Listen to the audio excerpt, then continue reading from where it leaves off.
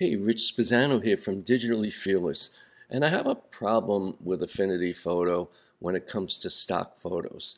I think stock photos are fantastic because you can just bring them in. You don't have to go onto the internet and you can use them for your projects. But I wish you can just drag them in and it does not let you drag them in. You you have and it, you don't know what size they are. So you I, there's two ways of doing this uh, well, there's actually three, and I'm going to show you all three, but the last one to me is my favorite. So the first thing you do is just bring in um, the size you want, and then you can, uh, any, it doesn't matter what size, you pick the size, and then let's say I drag this in, and then I have to go way out and start shrinking it and I'm not crazy about this idea. Obviously, this is not going to work very well, but I don't like this at all. This is not what I intended. I would like it really to be the original size. So let's just forget this one, and I'll give this one, let's say, here, let's do this. okay, here's what we're going to do. I'm going to put some red here, big red, okay? And I'm going to actually I, I have to put red here. Let's do red here. And we are going to just give it a big X. So we don't want that. That's not a good way to do it. As far as I'm concerned, that's not a good way to do it. So let's try a different way. Another way you can do it, and you have to write it down or use your memory, is you can go to a stock photo. Again, doesn't matter what photo, I'll bring in a different one. Bring it in, and it tells you the size, 3456 by 2196.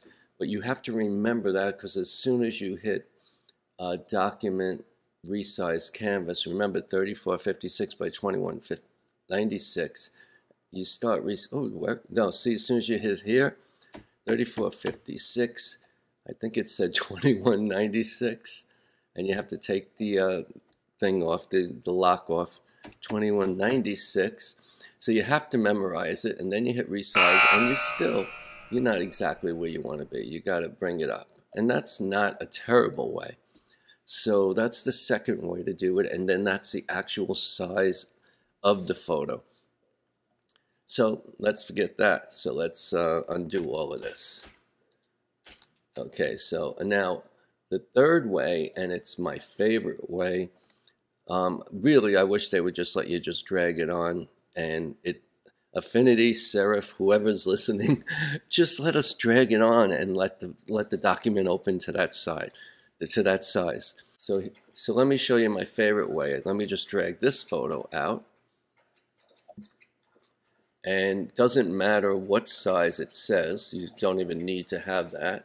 It's good to know who the author is of the photo, the photographer, but I'm just going to bring my photo way out.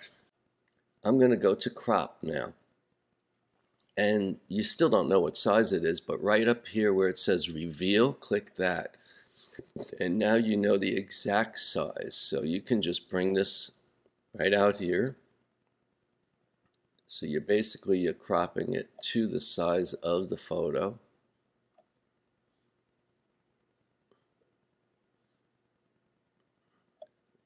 Go, maybe a little more like that, and you say apply. And now you have the original size of the photo.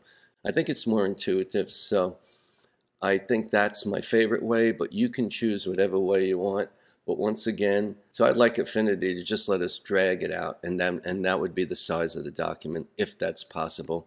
Another way would be would be great if I just clicked on one and said Control or Command Copy, or edit copy like that and then go to file new from clipboard like it does with other things but Affinity is not allowing this. So uh, you choose whichever one you like. Affinity please change this. I would really appreciate it. And I hope you guys liked this tutorial. It was very quick. If you did please click like and subscribe. Thank you and have a good day